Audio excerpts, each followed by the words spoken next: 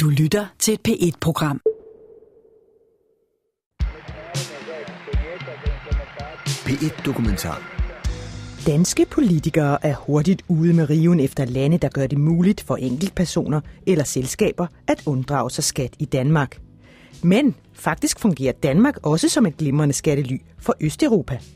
Internationale skatterådgiver markedsfører netop Danmark som et perfekt skattely, for ingen fatter mistanke, når man etablerer sit selskab i Danmark, der jo er kendt for høj skat. Men faktisk gør dansk lovgivning det muligt at unddrage milliarder i skat, uden nogen løfter et øjenbryn.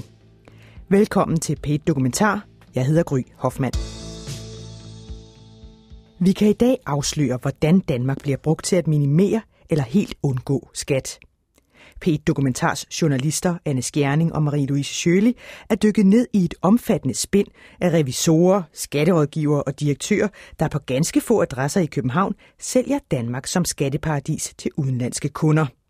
Flere af de implicerede er tidligere sat i forbindelse med selskabstømning, groft underslæb og netop storstilet skattespekulation. Men hvorfor er det lige netop Danmark, der bruges til den type skattespekulation? Historien starter i Bella Center i udkanten af København. Her ligger et milliardforetagende, der er på papiret er dansk. Det har dog ingen danske ansatte og betaler ifølge regnskaberne ikke en krone i skat. Det er onsdag formiddag.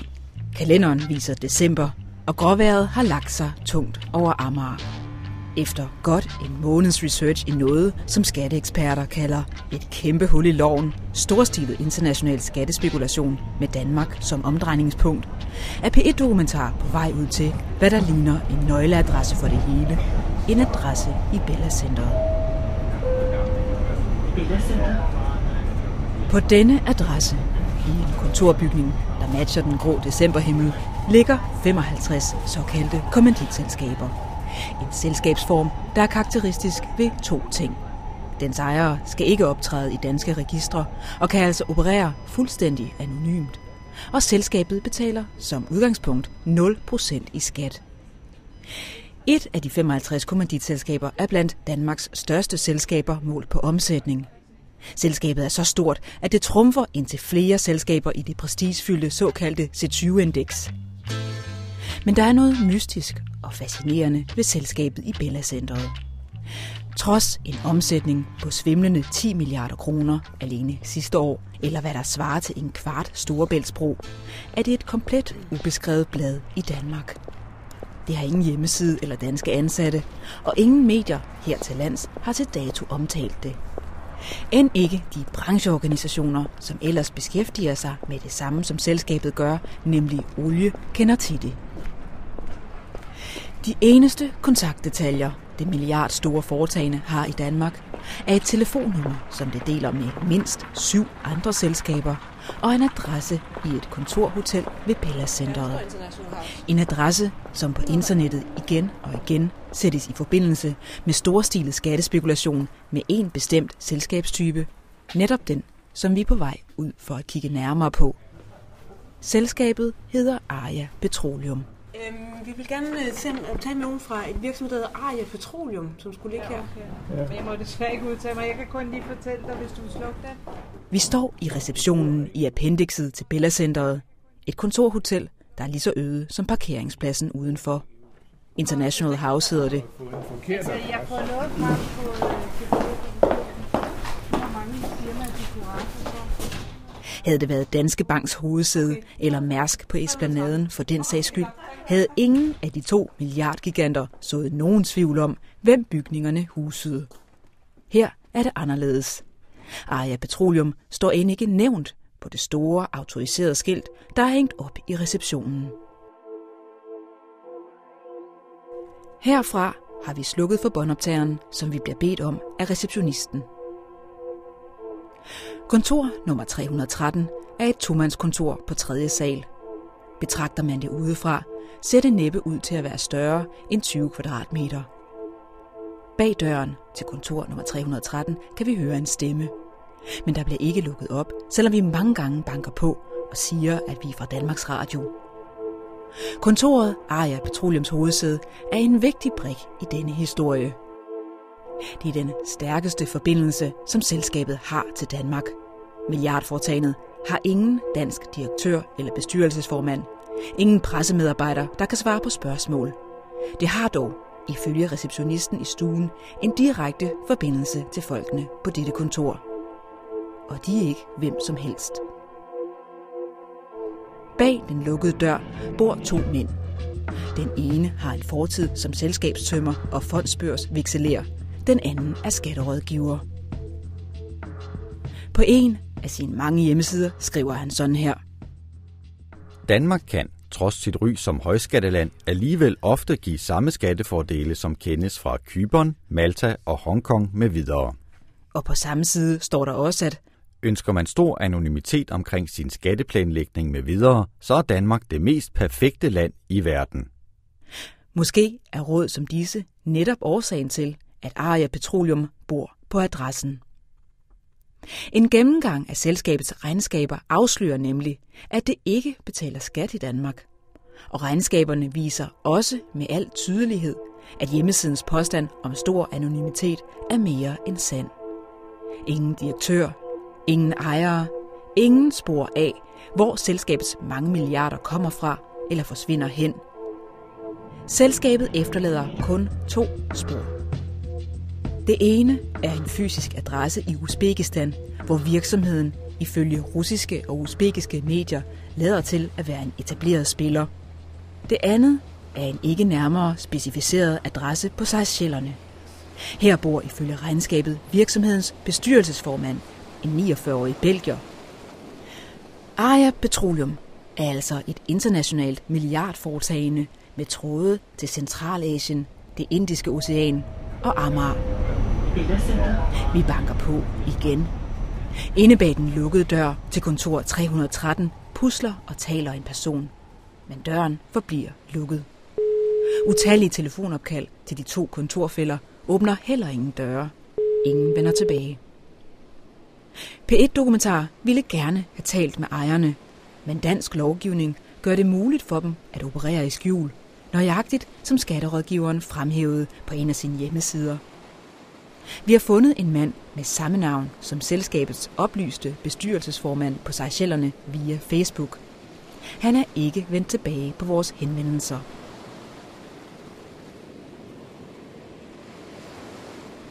Som nævnt er kommanditselskabet Aria Petroleum kun et af 55 selskaber af samme type på Center Boulevard 5 ved Bella Centret. En kortlægning af selskaberne på internettet viser, at en stribe af dem direkte markedsføres til russiske pengemænd, der ønsker at slippe for skat. Et sted, hvor det sker, er på den russiske hjemmeside Offshore City. Logoet med sine store, svungne bogstaver ligner et saloonskilt fra en westernfilm om guldgravere. Virksomheden sælger skræddersyede skattelyløsninger, komplet med direktør, adresse, lokalbogholderi og med dertilhørende konti i lande med bankhemmelighed. En af ruterne går over Danmark. Offshore City angiver nemlig Danmark som favorabelt lavskatteland. Prislisten på Offshore Citys hjemmeside er lang og udførlig. Eksempelvis koster en dansk direktør 2.400 euro om året, og en dansk adresse til selskaberne koster 2.000 euro om året. Og sådan fortsætter prislisten. Men på hjemmesiden ligger ikke bare en liste med priser. Der ligger også en helt konkret liste over navngivende kommanditselskaber. Ni af selskaberne er fra 2011, fem er oprettet i 2013. Alle er de klar til køb, skriver Offshore City. Disse 14 kommanditselskaber på den russiske liste er registreret på en og samme adresse, Center Boulevard 5, altså Aria Petroleums hovedkvarter i Bella Center, hvor vi lige har stået og banket på, uden at blive lukket ind. Og ikke bare har alle kommanditselskaberne på den russiske liste samme adresse. De 10 har også samme direktør. Direktøren, der tilbyder danske selskaber via det russiske Offshore City, hedder Jan Carlsen. Han er tidligere taxavognmand og fondsbørs og han er en af de to personer, som driver virksomhed fra det tomandskontor, hvor Aria Petroleum også hører hjemme. Hans fortid er velbeskrevet i dansk presse. Østerlandsret skærpede i dag straffen over fire selskabstømmere. De fire blev dømt for ulovligt at have tømt en række selskaber for omkring 100 millioner skattekroner i begyndelsen af 90'erne. Jan Valin Carlsen fik fem års fængsel. I 2001 blev han idømt fem års fængsel for selskabstømning i en sag, der fik tilnavnet Guldsag 2. Selvom sagen trak ud i ni år, fastslog Østerlandsret, at han ikke skulle have rabat i straffen. Politiet skulle nemlig, som der står i dommen, kortlægge, citat, en lang række indviklede selskabskonstruktioner, hvoraf flere havde hjemsted i eller tilknytning til udenlandske til tider eksotiske skattely. Otte år senere kom Jan Carlsen igen i rampelyset. Det skete i 2009, da Ekstrabladet satte hans navn i forbindelse med svindel med CO2-kvoter. I dag sælger han altså kommanditselskaber via russiske hjemmesider. Klappet og klar til de, der ønsker at minimere skattebetalingen mest muligt. Netop det er selve formålet med den slags selskaber, fastslår Jan Carlsen selv åbent, da Erhvervs- og Selskabsstyrelsen tilbage i 2011 aflagde et af hans selskaber et tilsynsbesøg. I en mailudveksling, som P1-dokumentar har fået agtindsigt i, skriver Jan Carlsen. Som fortalt, så bruger kunderne selskaberne, som for 99 procent af tilfældene er kommanditselskaber, til at spare i skat. At Erhvervsstyrelsen ikke mener, at det er en gyldig grund til selskabsoprettelse, altså at spare i skat, er en anden sag.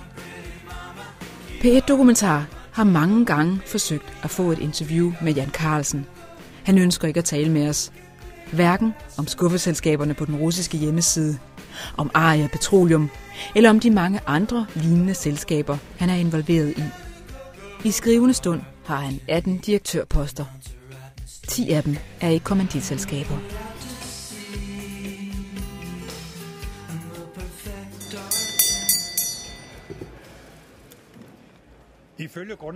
Det er ikke første gang, at kommanditselskaber sættes i forbindelse med skattespekulation.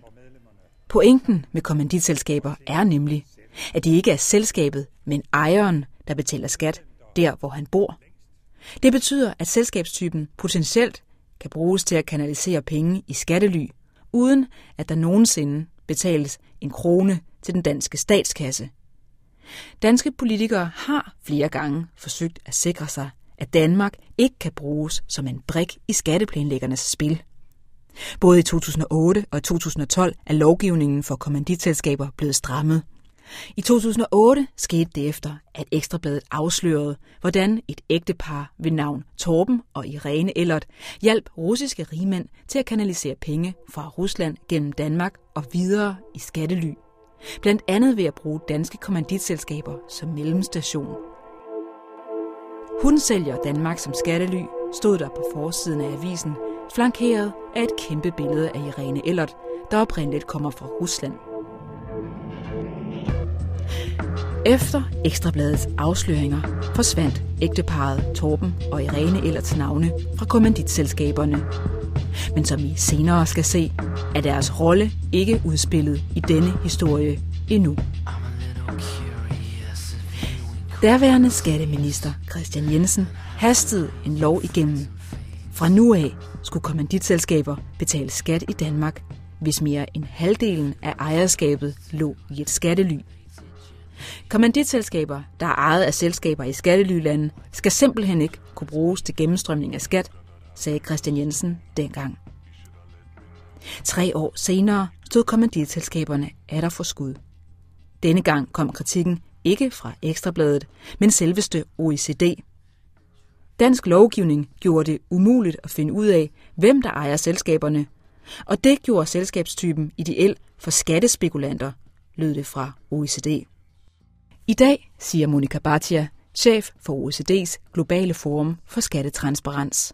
Uh, there is some lack of transparency about ownership of legal entities, it is possible for people who are indulging in tax evasion to set up entities uh, in Denmark, which can then be used to evade taxes in other countries, with potentially serious consequences for other countries.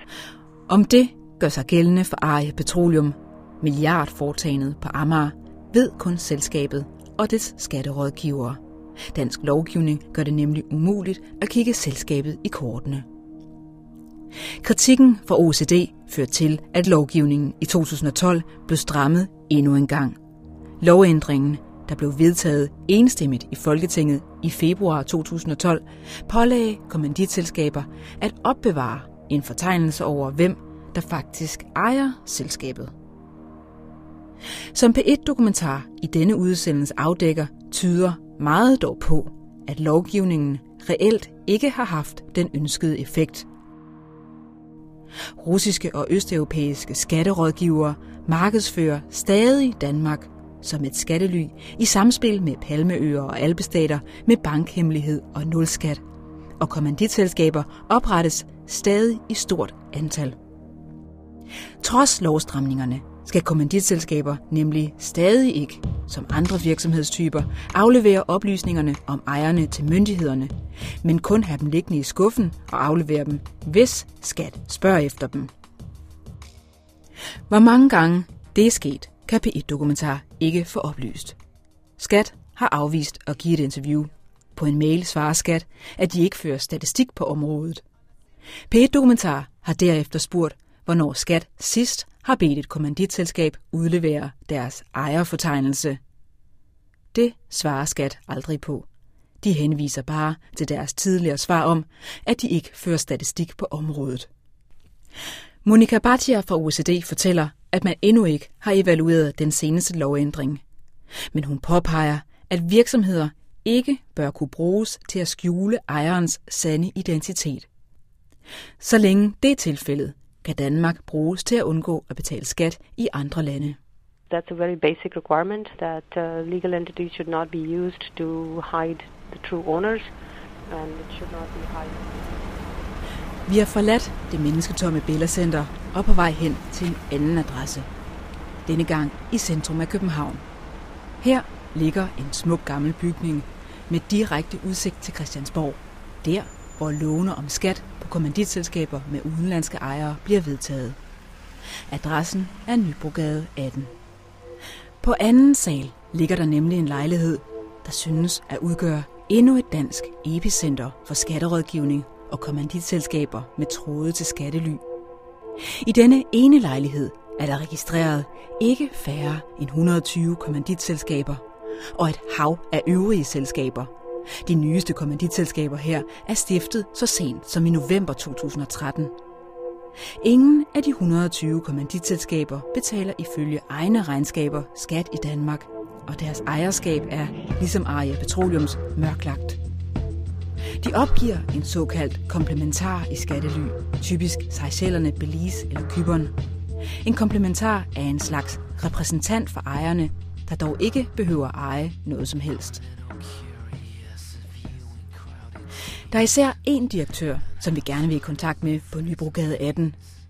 En mand, der ifølge de danske selskabsregistre i øjeblikket er direktør i ikke færre end 238 selskaber.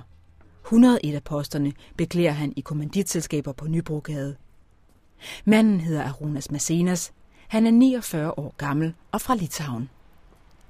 Tilbage i 2010 var han direktør i Aria Petroleum, inden det flyttede fra Nybrogade 18 til Center Boulevard 5 ved Bella Centeret. Ham vil vi rigtig gerne snakke med.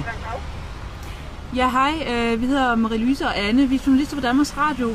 Vi leder efter Aronas Macenas, som skulle være direktør i nogle virksomheder. På Nybrogade 18 står fire navne på dørtelefonen.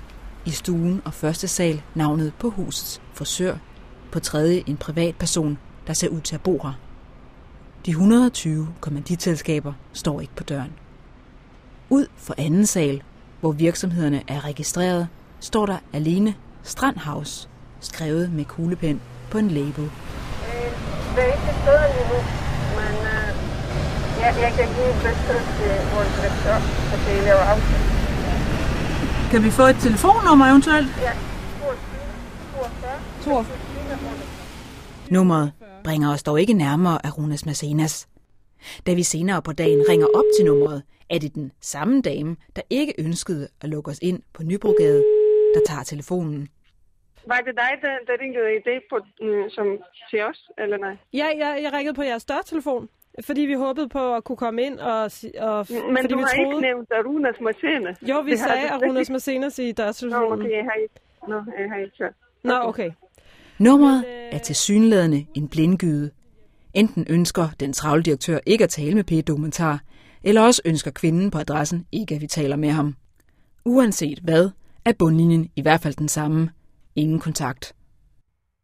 Vi søger i stedet direktøren på 118, nummeroplysningen. Her har han hele syv forskellige telefonnumre. Vi ringer igen og igen i dagevis og lægger flere beskeder på telefonsvarene. Venligst indtal en besked efter biptonen. Forgæves. Vi skriver også til ham på Facebook og forelægger ham udsendelsens oplysninger. Vi kan se, at han læser dem. Han kvitterer med et like, som det hedder på Facebook-sprog. Intet andet. Men måske er Arunas Macenas ikke det mest interessante ved Nybrogade 18, trods sit meget store antal direktørposter. Igen og igen i regnskaber og på oplysningen dukker sætningen CO Strandhaus op side om side med kommanditselskabernes navne.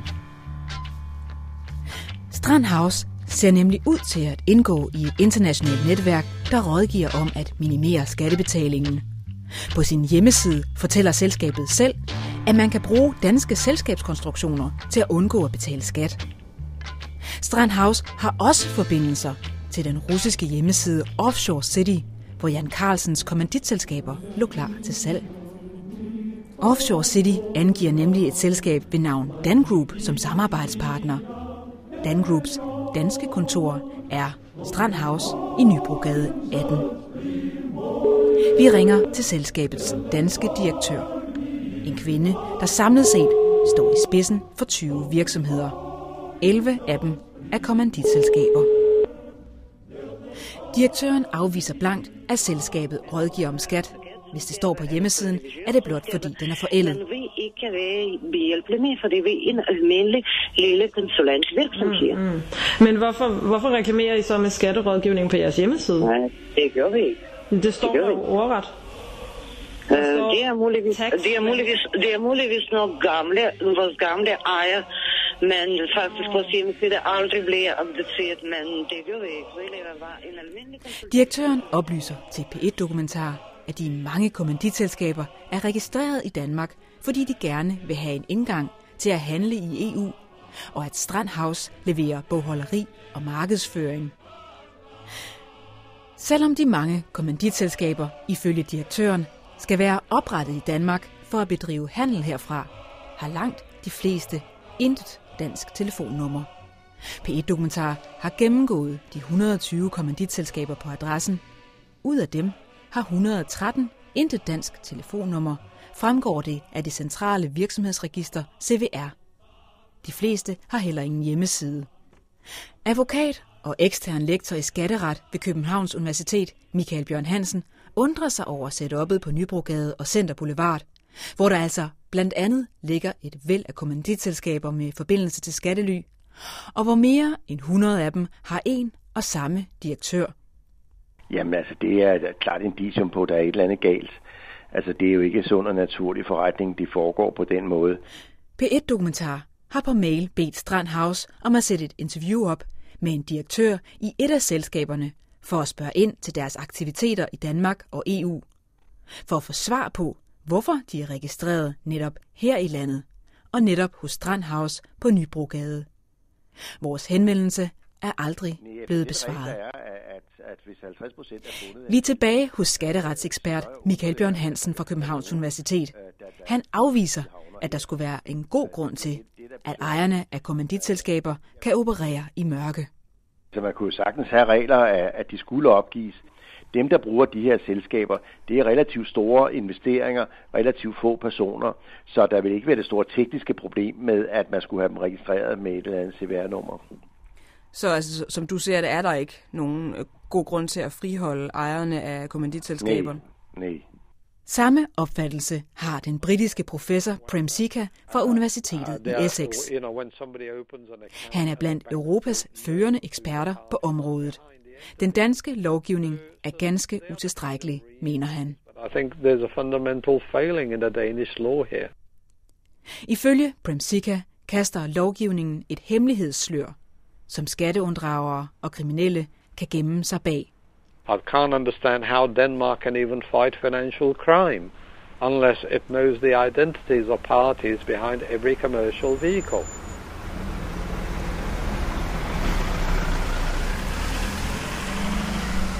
Vi er tilbage ved Strandhaus og udsigten til Christiansborg. Inden vi forlader Nybrogade helt, kommer vi nemlig et skridt længere. Eller rettere, et skridt tilbage til fortiden, nærmere betegnet til 2008, til Ekstrabladets forside om ægteparet Torben og Irene Ellert. Dem, der ifølge avisen hjalp russiske rigmænd med at kanalisere penge i skattely, blandt andet via danske kommanditselskaber. Det var dengang, Folketinget skyndte sig at gennemføre en lov, der skulle sætte en stopper for skattespekulation via danske kommanditselskaber, uden dog at kræve, at ejerne fremadrettet skulle registreres på samme måde som ejere af andre selskabstyper. Efter Ekstrabladets historie forsvandt ægteparet Ellert ud af regnskaberne. Flere steder overtog den nu flittige direktør Arunas Macenas direktørposterne direkte efter dem. Officielt har Irene Ellert ikke længere nogen tilknytning til Nybrogade 18. Min naboer fortæller til p Dokumentar, at en dame, der ser russisk ud, kommer her jævnligt. Og de fortæller, at hun er en slags leder for de to andre russiske damer, der arbejder på kontoret. Naboerne nikker prompte, da vi viser dem billedet af Irene Ellert fra Ekstrabladets forside. Ja, det er hende, bekræfter to af hinanden uafhængige kilder. Vi ringer til Irene Ellert for at høre, hvad hendes rolle er på Nybrogade. Hendes nummer finder vi på hjemmesiden for et internationalt skatterådgivningsselskab ved navn CPH Consulting, som reklamerer med Irene Ellert som foredragsholder. Da P1 Dokumentar ringer til Irene Ellert, afviser hun at være involveret i skatterådgivning. Og Strand House på Nybrogade har hun intet med at gøre. Men du, så du kender ingen, der arbejder på Nybrogade 18? Undskyld, jeg arbejder ikke i den her branche i mange år. Jeg ønsker ikke at diskutere den okay, her. Okay, så bare lige et enkelt spørgsmål mere. Jeg har set, at du er venner med en, der hedder Arunas Macenas på Facebook. Øh, og han er direktør...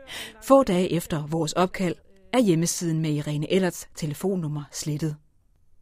Det er ikke kun Irene Ellert, som trods de kappede bånd i regnskaberne, fortsat synes at have en forbindelse til Strand House. Også hendes ægtefælle Torben Ellert er stadig at finde i kulissen. Ifølge DK Hostmaster, registret over danske internetdomæner, er det nemlig ham, som ejer hjemmesiden strandhouse.dk. Hjemmesiden, hvor til skatterådgiverne på den russiske hjemmeside Offshore City henviser, hvis man ønsker at bruge Danmark til at minimere skattebetalingen. Torben Ellert ønsker ikke selv at belyse sin rolle i Strandhouse. Jeg har ingen kommentar. Okay, øh, så det vil sige, at du vil ikke bekræfte eller afkræfte øh, din tilknytning? Jeg har ingen kommentar. Men du ejer domænet, ikke også? Jeg har ingen kommentar. P1 Dokumentar har gennemgået persongalleriet og selskaberne på Nybrogade 18 og Center Boulevard 5 med direktør i skatterådgivningsselskabet Timetax, Torbjørn Helmo Madsen. Han vurderer, at der må være tale om et organiseret netværk. Det er meget få personer, øh, og der kan ikke være meget reel virksomhed, når der er samme direktør i over 100 selskaber. Og det virker jo også noget påfaldende, at de pågældende, når man ringer op til deres firmaadresse, ikke vil tale med dem, eller der slet ikke er et telefonnummer på en firmaadresse i Danmark. Øh, det virker efter min opfattelse noget besynderligt og noget useriøst. Vi er tilbage på Danmarks Radio. Vi efterforsker nu målrettet nettet af østeuropæiske hjemmesider, som sælger Danmark som nulskatteland. Derfor ringer vi nu rundt til alle de selskaber, der dukker op, når vi laver en Google-søgning på ord som Danmark, nulskat og kommanditselskaber. Over 25 russiske og østeuropæiske hjemmesider dukker op.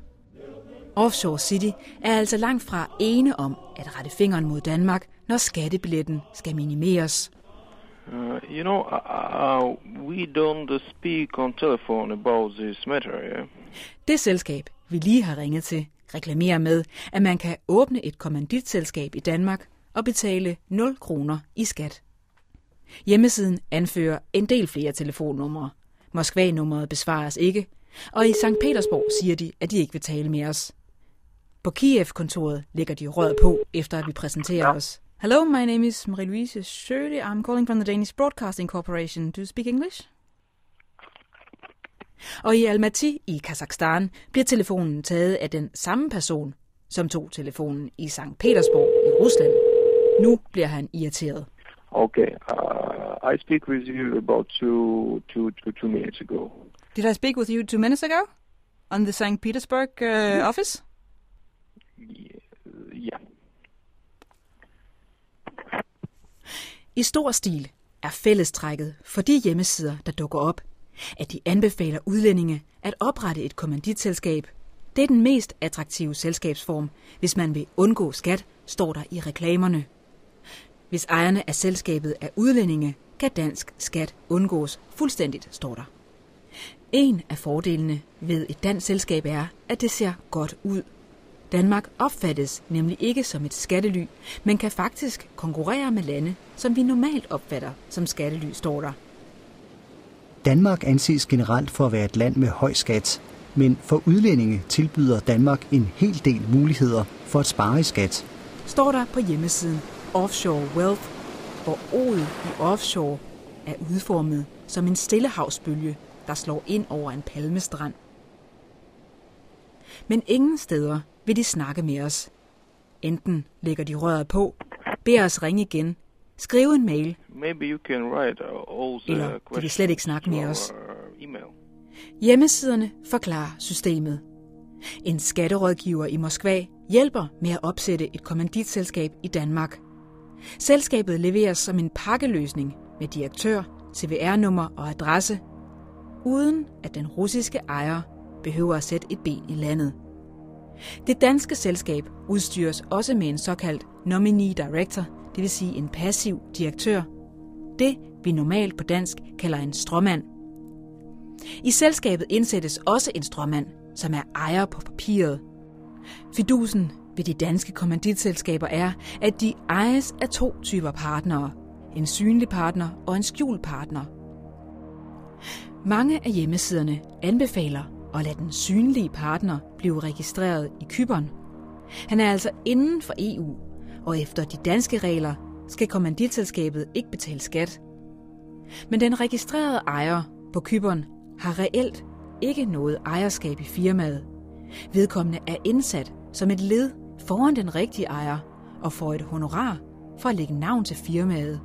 Den rigtige ejer er til gengæld helt skjult og kan være registreret hvor som helst, inklusiv i alle slags skattely. Resultatet er, at den russiske ejer kan sende penge til deres kommanditselskab i Danmark, og derfra videre til de britiske jomfruøer, Cayman eller Antillerne, måske via et ekstra stop på Kyberen. I bedste fald, uden at der betales skat noget sted. Et selskab udlægger bundlinjen sådan her. Danmark, verdens bedste skattely. P1 Dokumentar har gentagende gange forsøgt at få en kommentar fra alle de navngivende personer i denne dokumentar. Vi har kontaktet dem på alle tilgængelige telefonnumre og har forsøgt at kontakte dem på mail, Facebook og brev. Ingen af dem har ønsket at svare. Trods løfter og hastelovgivning for politikerne, og trods fordømmelse af international skattespekulation, der underminerer økonomien i andre lande, synes ingen af de myndigheder, som P1-dokumentar har kontaktet, Skat, Erhvervsstyrelsen, Bagmandspolitiet, at interessere sig for det store antal kommanditselskaber, som klumper sig sammen på ganske få adresser, til synlædende orkestreret af et ganske lille og blakket persongalleri. De samlede værdier i de kommanditselskaber, vi har gennemgået på Center Boulevard og Nybrogade, er 2,8 milliarder danske kroner. Det viser regnskaberne fra 2012. Men der er taget så mange forbehold fra forskellige revisorer, at tallet kan være langt større. Ingen aner det. Torbjørn Helmo Madsen, direktør i skatterådgivningsfirmaet Timetax, har kigget P1 Dokumentars dokumentation igennem til denne udsendelse. Og i hans øjne skal politikerne på arbejde igen for at sikre, at danske kommanditselskaber ikke kan misbruges af spekulanter til at undgå at betale skat. Sådan som stribevis af russiske hjemmesider ellers nøje skriver drejebogen i. For mig ser det ud som om, der er et, et, hul, et kæmpe hul i lovgivningen, hvor man jo egentlig burde øh, have mere kontrol med de her kommanditselskaber, således at man kan se, hvor pengene kommer fra og hvor de går hen. Øh, det kan jo ikke være rigtigt, at Danmark skal bruges som sådan et gennemstrømningsland, hvis det er det, der er tale om her. Jeg kan jo kun se de regnskaber, der foreligger, men det kunne godt tyde på, at der var en gennemstrømning. P1-dokumentar ville gerne have kortlagt, hvem der ejer de mange selskaber, og i hvor stort et omfang, at udlændinge fra f.eks. Rusland og Østeuropa bruger Danmark som en mellemstation til at kanalisere penge videre i hardcore skattely. Men dansk lovgivning gør det muligt at undslippe denne grænskning. Nøjagtigt som lovgivningen gør det i lande, som vi normalt ellers tordner mod. Seychellerne, Belize og de britiske jomfruøer.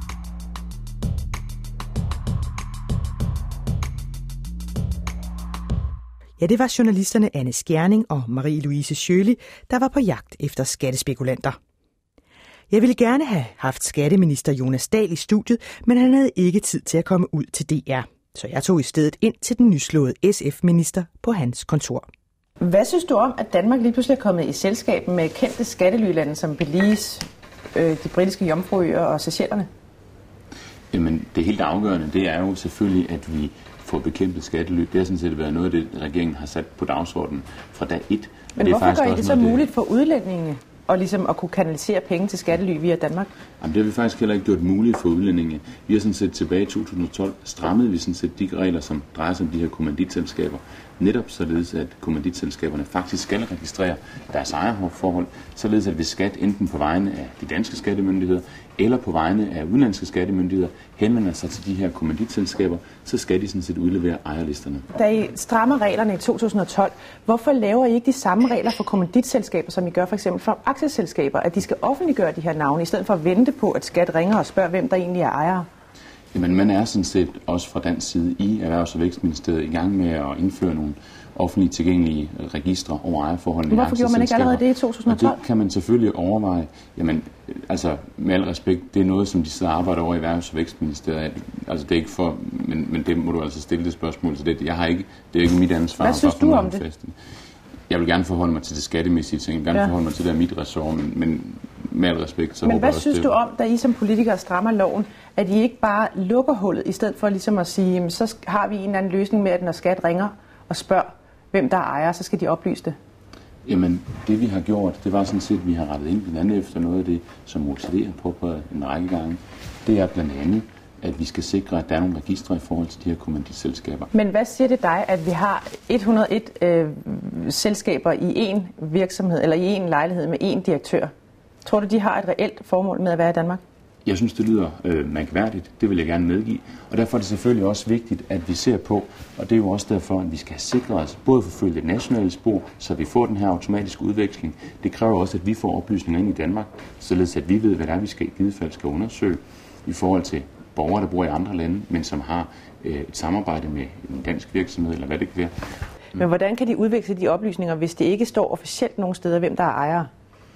Men det er sådan, at hvis de russiske skattemyndigheder henvender sig til de danske skattemyndigheder, så siger at vi kan forstå, at person XX har et selskab eller er en del af et selskab. Men hvordan skulle de vide det, når det ikke står officielt nogen steder? Men i forhold til, hvis man er bosiddende i Rusland, så er det de russiske skattemyndigheder henvender sig til Danmark. Og derfor har vi netop strammet op for, at de danske skattemyndigheder netop har muligheden for at gå til det enkelte selskab og sige, vi er nødt til at have en klarhed over. Men, men enten forstår du ikke mit spørgsmål, ellers forstår du ikke problemstillingen. Fordi hvis du har en, en russer, der har et KS i selskab, så er der jo ikke noget link mellem de to.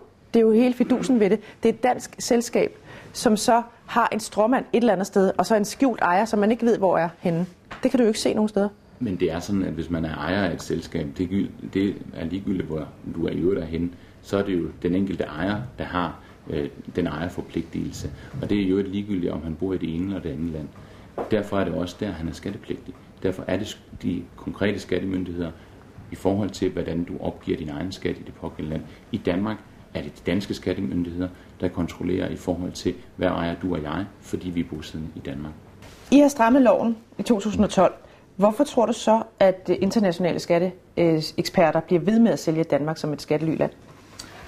Jamen, vi har en generel udfordring helt internationalt i forhold til at få strammet op i forhold til skattely. Det er jo sådan set noget af det, som Danmark har kastet sig i scenen for. Men hvorfor tror du, de bliver ved med at sælge Danmark som skattely?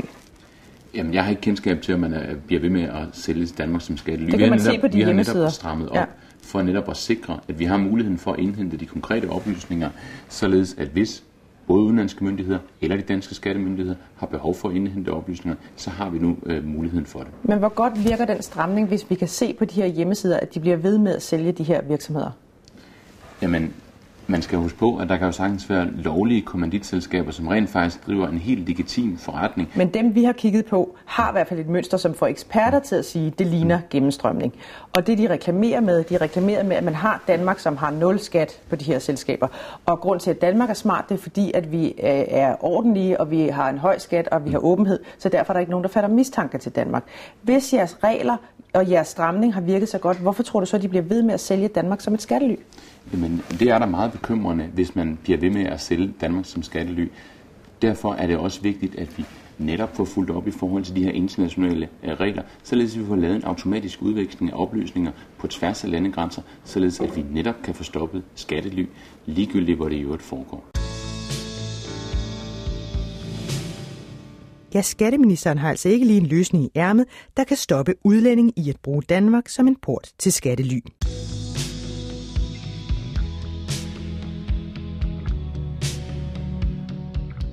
Og vi holder selvfølgelig øje med den her sag, så hvis du har kommentarer, så skriv til os på p dokumentar eller skriv på vores Facebook. Du kan høre udsendelsen igen, den ligger på vores hjemmeside. Det var Jesper Hyne Petersen, der var redaktør, og jeg hedder Gry Hoffmann. På genhør.